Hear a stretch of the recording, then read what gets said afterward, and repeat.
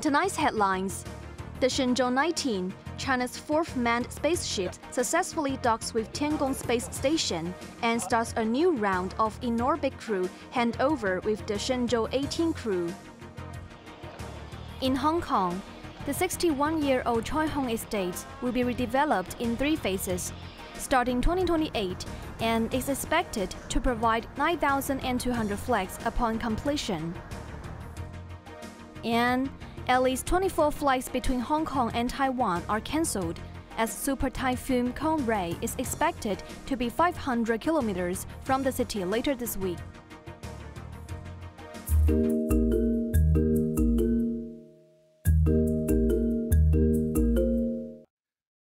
The Shenzhou 19 crewed spaceship carrying a three astronauts crew has successfully docked with the orbiting space station approximately six and a half hours after launch.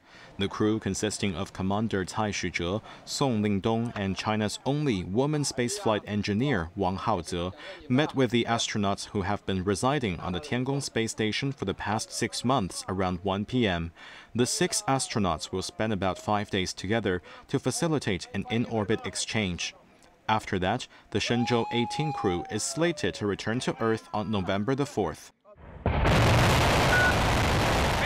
The spacecraft blasted off at 4:27 a.m. and successfully separated from the Long March 2F rocket about 10 minutes later, entering its designated orbit and marking a successful mission. Earlier around midnight before the launch, a send-off ceremony was held at the Jiuquan Satellite Launch Center. Commander Cai Shuzhe, along with astronauts Song Lingdong and Wang Haoze, received their mission orders.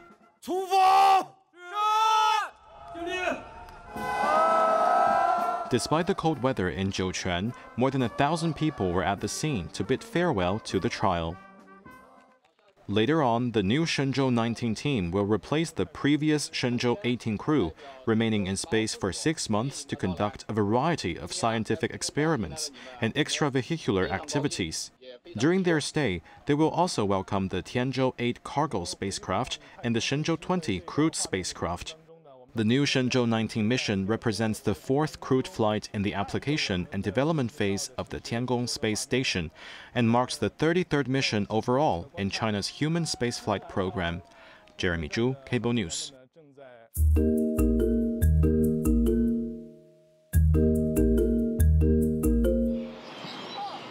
Choi Hung Estate, a 61-year-old public housing estate and one of the city's tourist hotspots, is set to be redeveloped in three phases, spanning over 15 years and yield 1,800 more units than now upon completion. The first phase of redevelopment of the Instagram famous estate in Wong Tai Sin will start in 2028, involving 2,023 units. Currently, the estate is the home of around 7,400 households. The affected residents living in Pik Hoi House, Kem Pik House, and Tan Fong House will need to move out by 2028, allocating to the new Mei Tong estate in the same district. The second phase involved four buildings near Lung Cheung Road, which is Kem Hong House, Pak Suit House, Hong Nok House, and Kem Wan House which will provide 4,100 units for affected residents in the third phase and reserve some land for the expansion of Lung Cheung Road. The final phase will include the remaining buildings, namely Choi King House, Kianhua House, Luk Ching House, and Chimei House, along with the car park. The third phase, from redevelopment to habitation, is expected to take place until 2049 all impacted residents will receive relocation allowances, and some can move to suitable renovated flats in other districts, apply for a housing subsidy to rent a private house, and have priority for flat selection in purchasing subsidized housing. As for the land earmarked for the primary school's redevelopment within the estate, it will now be repurposed for residential use. The government will allocate separate land for new school facilities regarding the two public secondary schools in the area with private treaty grants. The Education Bureau will continue to exchange with the school to reach a balance between the school's needs and the overall development of the Choi Hung estate. Evelyn Bai, Cable News.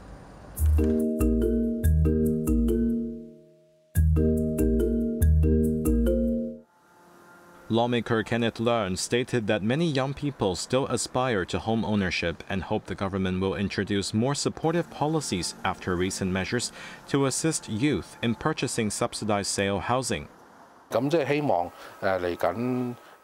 Talking to iCable News program Let's Talk, Leung welcomed the government's new initiative to increase young people's chances of securing home ownership scheme flats by providing an extra ballot number and reserving quotas for them. However, he urged the government to raise the income ceiling for applicants, allowing young people to aim for higher earnings. He also called for more mortgage and savings plans focused on subsidized housing. Regarding the new youth hostel project in Kowloon City, Leung believed it will significantly benefit young residents. He shared the story of a young hairdresser who previously lived in Tin Shui Wai but worked in Causeway Bay, facing long commutes the new youth hostels greatly improved his work-life balance, allowing him extra time to enhance his professional skills. Furthermore, the government plans to transform the Kai Tak area into a youth station with accommodation and cultural elements to enhance communication between local and overseas youth. Leung stressed the importance of creating engaging spaces that appeal to young people, inviting various operators to bid and harnessing community creativity. Additionally, the lawmaker said he hoped the YouthLink interactive platform at the Nam Chuan Community Center proposed by the government will help gather young people's insights for updating the next version of the Youth Development Blueprint. Jeremy Zhu, Cable News.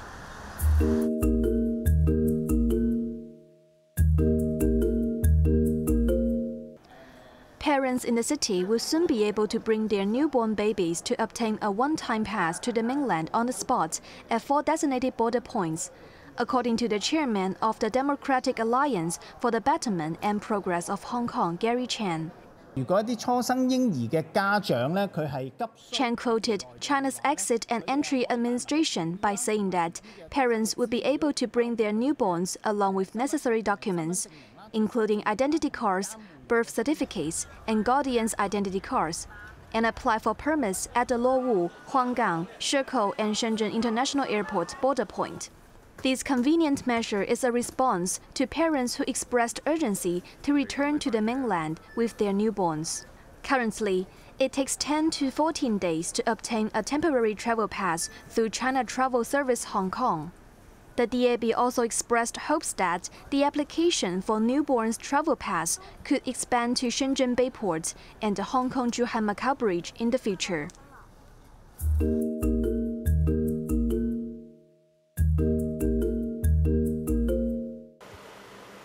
Some 70 cars were vandalized in two separate outdoor car parks in Fanling, and authorities are investigating whether the incidents are connected, suspecting triad involvement.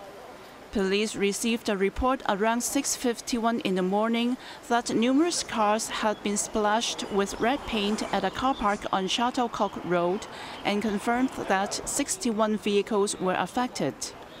Subsequently, reports emerged from a nearby car park on the same road where 12 additional vehicles had their windows smashed, raising suspicions of a potential link between the two incidents. The cases, which were listed as criminal damage incidents, were taken over by a regional anti-triad unit. Surveillance camera footage showed that two men entered the car park around midnight, covering their faces with umbrellas to carry out the vandalism acts.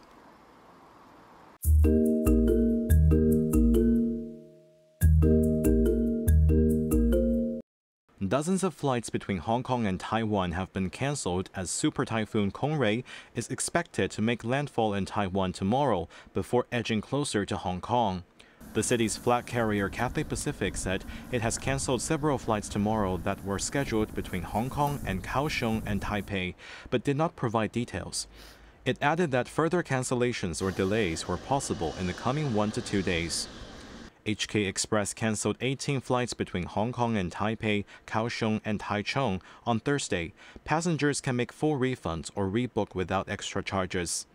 Greater Bay Airlines canceled two flights between Hong Kong and Taipei tomorrow.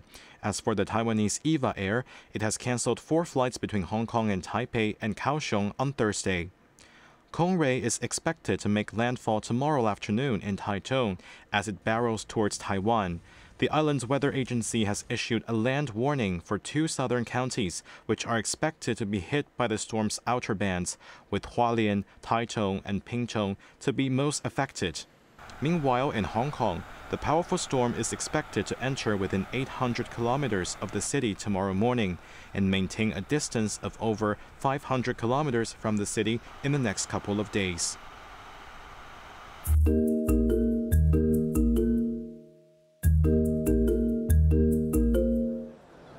China strongly disapproved of the tariffs imposed by the European Union on Chinese electric vehicles and has filed a complaint to the World Trade Organization after the bloc confirmed to increase tariffs on Chinese EVs to as high as 45.3% on Wednesday.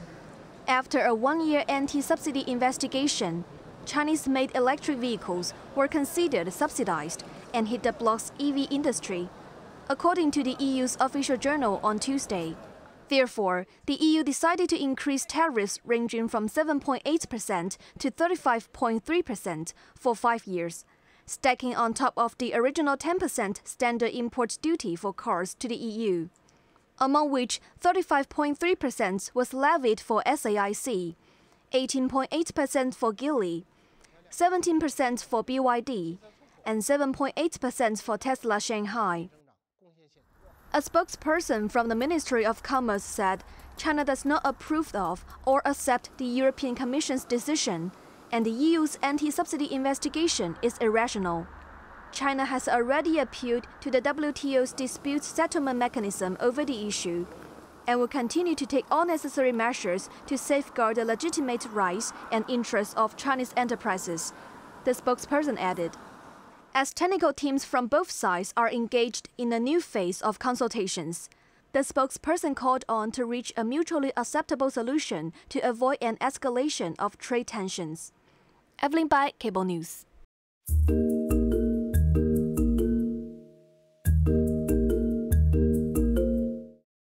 Eight Austrian soldiers from a United Nations peacekeeping force were injured when a rocket hit their headquarters in Naqoura, Lebanon. The 10,000 strong force, known as the United Nations Interim Force in Lebanon, is deployed in southern Lebanon to monitor tensions along the border with Israel. The incident occurred around noon on Tuesday while the soldiers were engaged in repair work. According to Austria's defense ministry, none of the soldiers required urgent medical care, and it was unclear where the rocket came from. Defense Minister Klaudia Tanner strongly condemned the attack and called for an immediate investigation. UNIFIL said the rocket that ignited a vehicle workshop was likely fired from the north, possibly by Hezbollah or an affiliated group, and confirmed that an investigation had been initiated.